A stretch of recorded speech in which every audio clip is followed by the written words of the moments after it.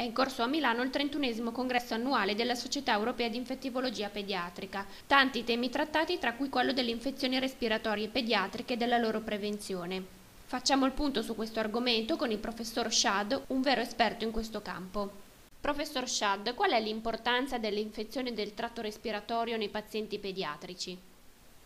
It's very high because we know that more than half of the patients seeking medical help in Europe, but also in other countries, suffer from respiratory tract infections. Quali sono le cause principali di queste infezioni? You know, the big uh, majority in children is viral.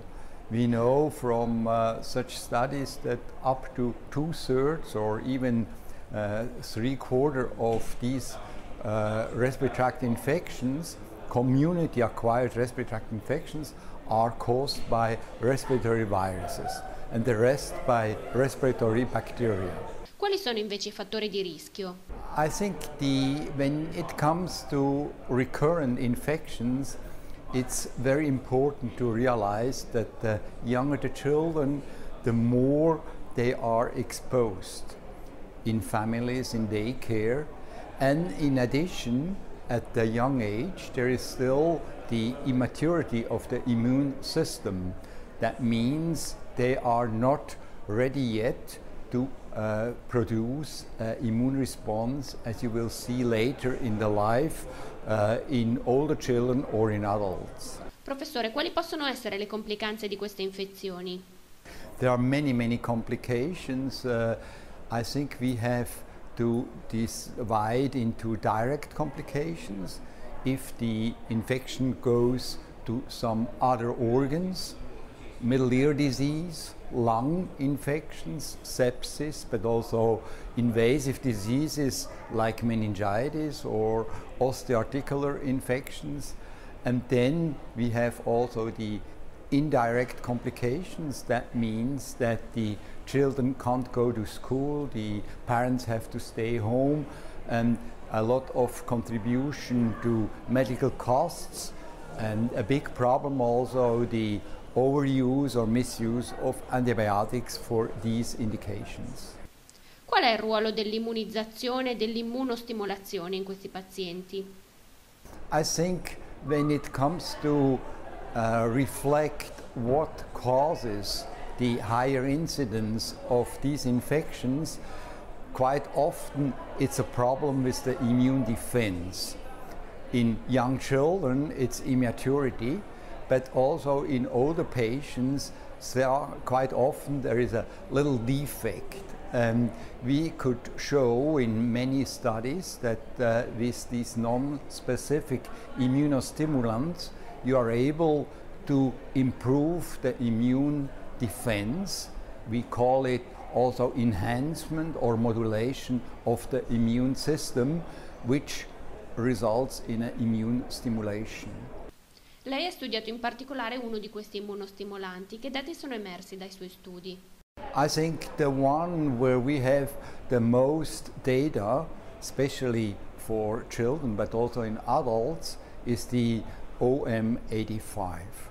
The data we have is showing that in children with the burden of recurrent respiratory tract infections, if they take this compound, the uh, OM85, then in the following months and years, the incidence of these respiratory tract infections will go down and also severity and in many studies we also could show that the improvement also is reflected by less use of antibiotics.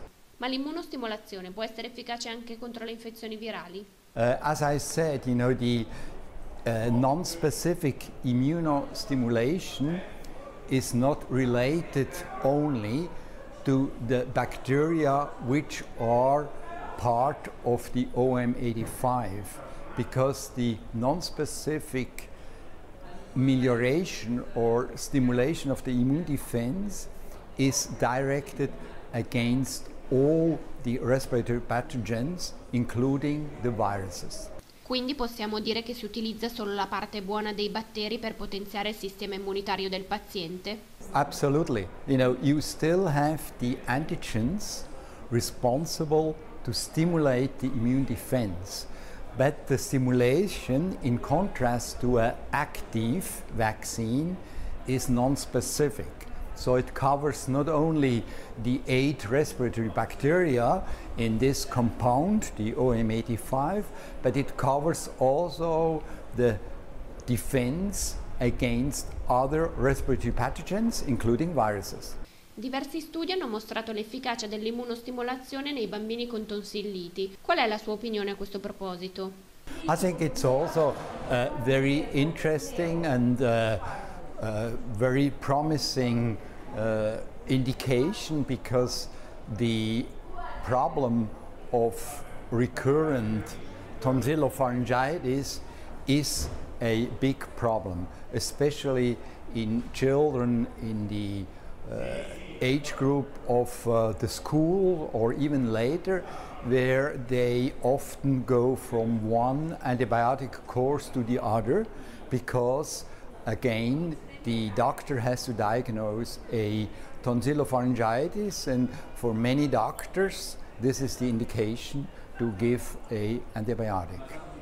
Ma oltre a ridurre l'utilizzo di antibiotici, quali possono essere i vantaggi dell'immunostimolazione? You know, less being sick, less uh, uh, having absenteeism from school, less having absenteeism of the parents from work, and less side effects of drugs which are not necessary to be given, especially antibiotics, especially development of resistance.